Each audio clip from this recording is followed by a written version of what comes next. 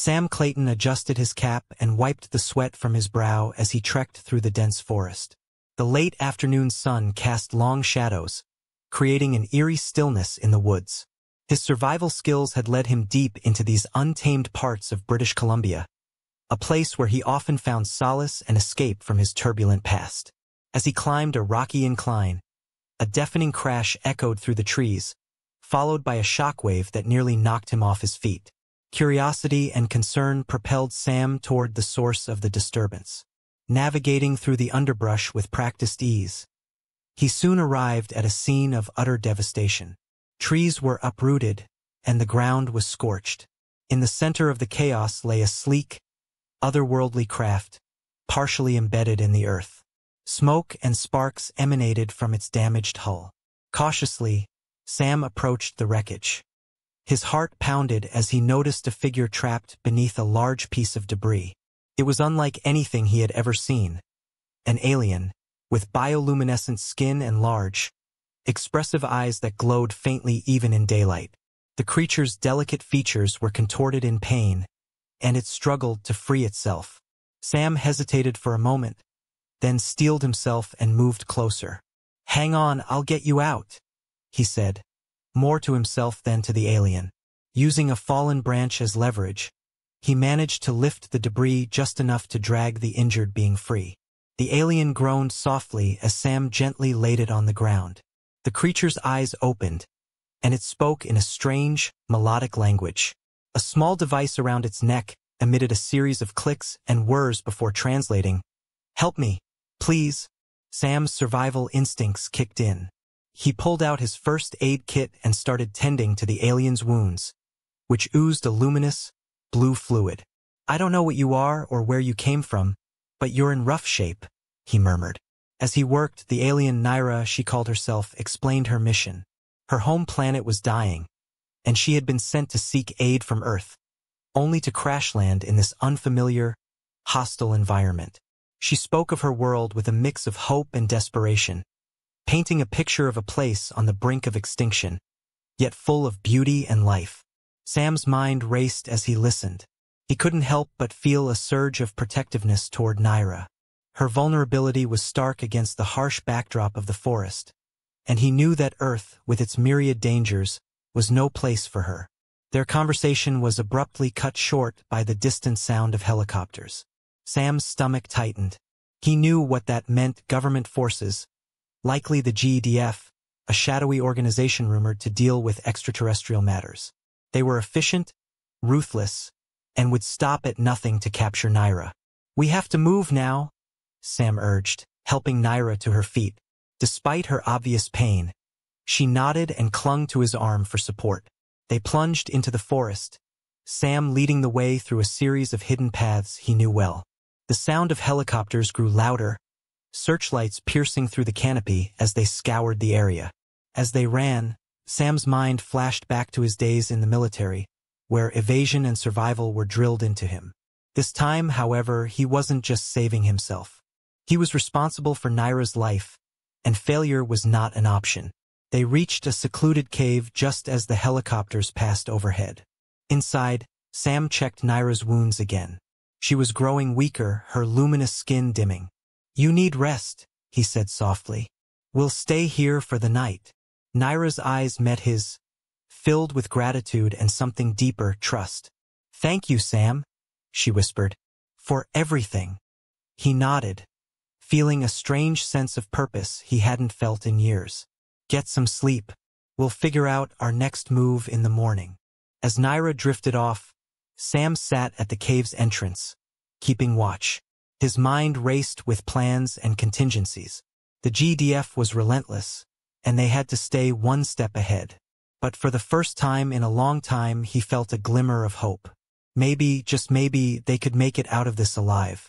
The night deepened, and the forest around them seemed to hold its breath. Sam knew this was only the beginning of a much larger ordeal, but he was ready. For Naira, for the chance to make a difference, he would fight with everything he had. Sam Clayton woke to the sound of leaves rustling. Instantly alert, he peered out of the cave's entrance, scanning the forest for any sign of movement. The early morning light filtered through the trees, casting a greenish hue on everything. Naira was still asleep, her bioluminescent skin faintly glowing. Sam's mind raced with plans and contingencies. He needed to keep them moving, but Naira's condition was fragile. Gently waking her, Sam explained they had to leave immediately. Naira nodded, her eyes filled with determination despite her visible exhaustion. They ventured deeper into the forest, moving cautiously and avoiding open areas. The sound of distant helicopters reminded Sam that the GDF was relentless in their pursuit.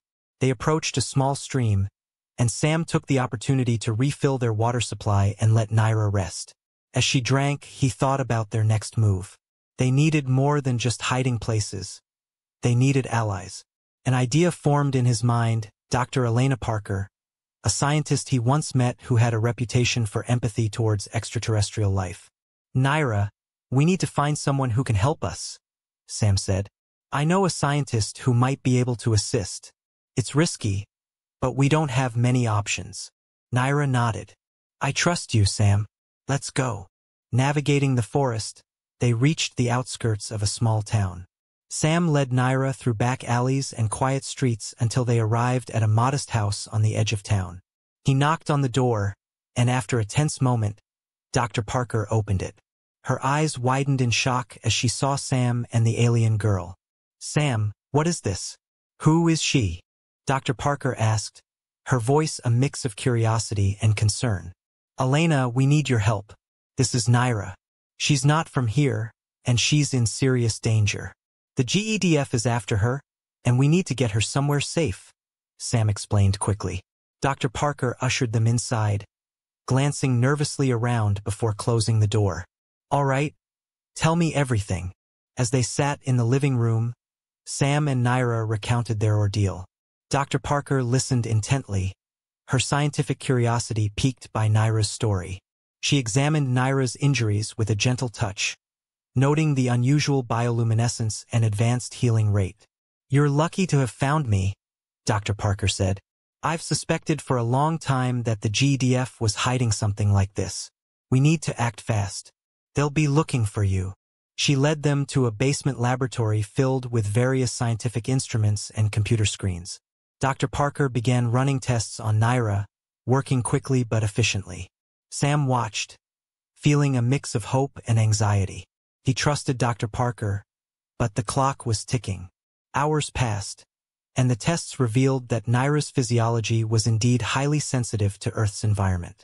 Dr. Parker synthesized a temporary protective serum to help stabilize Naira's condition. This should buy us some time, Dr. Parker said, injecting the serum into Naira's arm. But it's not a permanent solution. We need to get her off this planet. Suddenly, the sound of a door crashing open upstairs echoed through the house. Heavy footsteps followed. The GDF had found them. Hide her, Dr. Parker whispered urgently. Sam and Naira scrambled to a hidden compartment beneath the floorboards. Through the small cracks, they could see Dr. Parker standing firm as GDF agents stormed in. Where is she? demanded the lead agent, his tone menacing. Dr. Parker, her face calm, replied, I don't know who you're talking about. The agent sneered. Don't play games with us, doctor. We know she was here. As the agents ransacked the laboratory, Sam held his breath, ready to fight if necessary. Naira gripped his arm, her fear palpable. They had to remain hidden at least until the agents left. Minutes felt like hours, but eventually, the agents grew frustrated and left, warning Dr. Parker they would return. Once the house was silent, Sam and Naira emerged from their hiding spot. Dr. Parker looked shaken but determined. We can't stay here, she said. We need to move her to a safer location. Sam nodded. I know a place in the mountains, far from here. They won't find us there. Gathering what supplies they could, the trio set off under the cover of darkness.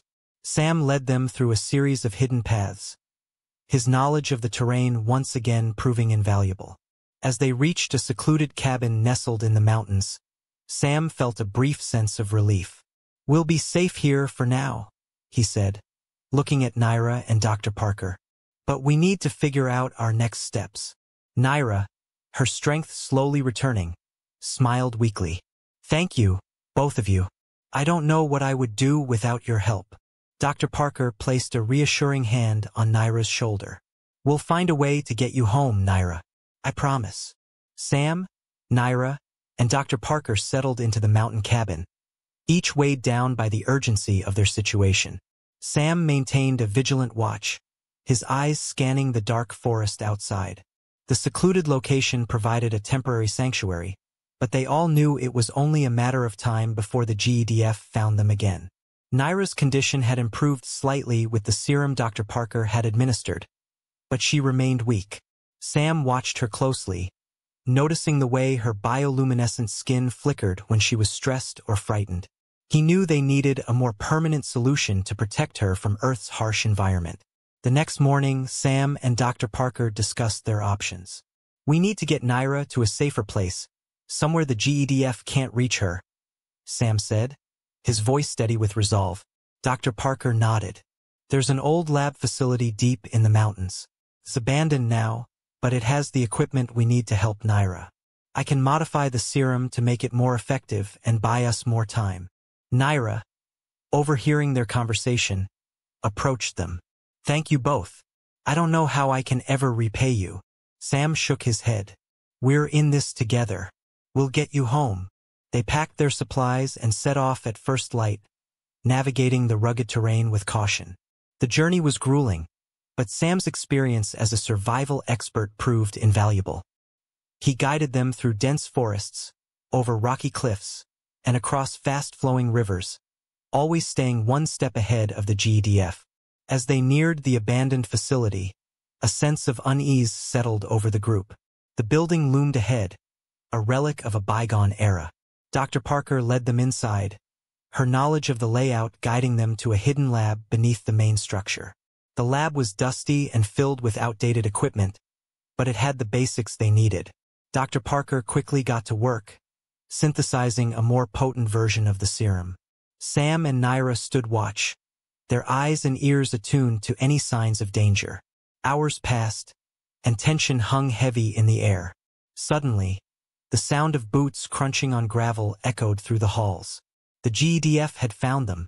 Sam motioned for silence and gestured for Naira to hide behind a large console. He positioned himself at the entrance, ready to defend their position. Dr. Parker continued her work, her hands steady despite the imminent threat. The serum was almost ready, but they needed more time. Sam's heart pounded as he heard the agents approaching. He knew they wouldn't stand a chance in a direct confrontation. The lead agent's voice rang out. We know you're in here. Surrender now, and no one gets hurt. Sam gripped his makeshift weapon, a metal pipe he had found in the lab. He glanced at Naira, who looked back with a mixture of fear and determination. They wouldn't go down without a fight. The agents entered the lab, their flashlights cutting through the darkness. Sam waited, his muscles coiled like a spring. Just as the first agent stepped into the room, Dr. Parker finished the serum and handed it to Naira. Go! She whispered urgently. Naira injected herself with the serum, her skin glowing brighter as it took effect. Sam lunged at the agent, striking with the pipe and knocking him unconscious. The other agents opened fire, but Naira's enhanced abilities allowed her to move with incredible speed. She dodged the bullets and disarmed the agents with a grace and strength that took them by surprise. Dr. Parker joined the fray, using her knowledge of the lab to her advantage. She activated an old security system, locking the remaining agents in a containment room. The battle was brief but intense, leaving Sam, Naira, and Dr. Parker breathing heavily but victorious. We need to move now, Sam urged. They grabbed their supplies and fled the facility, disappearing into the dense forest once again. As they ran, Sam felt a surge of hope. Naira's newfound strength gave them an edge, but they still had a long journey ahead. They reached a hidden cave as night fell, taking refuge in its depths. Naira's glow provided a soft light, illuminating their exhausted faces. Sam looked at her, his eyes filled with determination. We're getting closer, he said. We'll find a way to get you home. Naira nodded, her expression resolute. I believe in us. As they settled in for the night, the weight of their situation pressed down on them. The GEDF would not stop hunting them, but they had each other and a shared goal. Together, they would face whatever came next. The following morning, Sam, Naira, and Dr. Parker woke to the sound of distant birds, a stark contrast to the danger that lurked just beyond their mountain sanctuary. They knew they couldn't stay hidden forever. Sam gathered the group, his face set with determination. Naira, we need to get you back to your people, Sam said. Staying here only puts us all at risk. Naira nodded. I understand. But how do we reach them? Dr. Parker chimed in. There's an old communication outpost not far from here. If we can activate the transmitter, we can send a signal to Naira's home planet. It's our best shot. They quickly packed their essentials and set off. The path to the outpost was rugged, but Sam's expertise in navigation ensured they moved swiftly and silently. The tension in the group was palpable, each step bringing them closer to potential salvation or capture. As they neared the outpost, Sam scouted ahead. The structure was dilapidated, its rusted frame a testament to years of neglect. Inside, cobwebs hung from the ceiling and dust coated the old equipment. Dr. Parker immediately set to work, her fingers flying over the controls as she attempted to power up the transmitter. Naira watched with a mixture of hope and fear. Do you think it will work? She asked, her voice barely above a whisper. It has to, Dr. Parker replied. We don't have another option. Minutes stretched into hours as Dr. Parker fought to coax the ancient technology back to life. Finally, with a triumphant smile, she declared, It's working. Naira stepped forward, activating her translator device. This is Naira of the planet Eloria. I am stranded on Earth and require immediate assistance. Coordinates to follow. She input the coordinates, and the message was sent into the void of space. The group barely had time to breathe a sigh of relief before the sound of engines shattered the silence. The GEDF had tracked them. Sam's heart sank as he saw the black vehicles approaching. We need to hold them off until Naira's people arrive, he said, steeling himself for the inevitable confrontation. The GEDF agents stormed the outpost, but Sam, Naira, and Dr. Parker were ready. They had barricaded the entrance and taken strategic positions. Sam's military training came to the forefront as he directed their defense, using the environment to their advantage. Dr. Parker, though not a fighter, proved invaluable by using the old equipment to create distractions and obstacles. Naira, her strength bolstered by the serum, moved with agility, evading capture and assisting where she could. Despite their efforts, the agents began to overwhelm them. Just as all seemed lost, a bright light filled the sky. A sleek, advanced spacecraft descended, its engines humming with power. Naira's people had arrived. The Elorian ship deployed a defensive barrier, repelling the GEDF agents. A group of Elorians emerged, their appearance strikingly similar to Naira's. They quickly assessed the situation and moved to assist Sam, Naira, and Dr. Parker. Naira ran to them, her relief evident. I knew you would come, she said, her voice breaking with emotion. One of the Elorians, a tall figure with an air of authority, approached Sam and Dr. Parker. Thank you for protecting Naira. We owe you a great debt, he said. Sam nodded, his face grim. We did what we had to do, but you need to take her home, where she'll be safe. Naira turned to Sam and Dr. Parker, her eyes filled with gratitude. I don't have the words to express my thanks. You saved my life, and I will never forget it. Dr. Parker smiled warmly. Take care of yourself, Naira. And maybe one day, our worlds will meet again under better circumstances. As Naira and the Elorians prepared to depart, Sam felt a pang of sadness. Despite the brief time they had spent together, Naira had become like family. Goodbye, Naira. Stay safe, he said softly. The Elorian ship lifted off, its engines whirring as it ascended into the sky. Sam and Dr. Parker watched until it was just a speck in the distance. The GDF agents, now subdued and retreating, knew they had lost this battle. Sam turned to Dr. Parker, a determined look on his face. We've done something good here today, but there's more out there. More beings who need our help. Dr. Parker nodded. I'm with you, Sam. Wherever this path leads, I'm ready. As they made their way back to the mountain cabin, Sam felt a renewed sense of purpose. They had protected Naira, and in doing so, had taken the first steps toward a future where humans and extraterrestrials could coexist peacefully. They were prepared to fight for a better tomorrow.